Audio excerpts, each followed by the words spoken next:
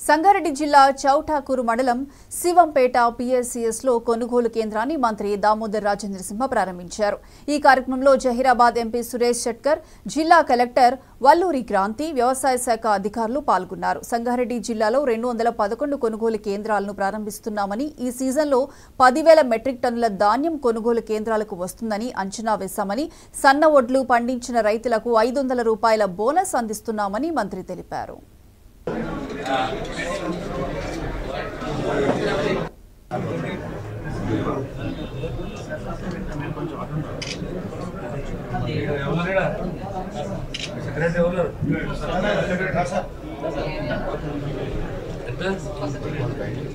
ఏంది?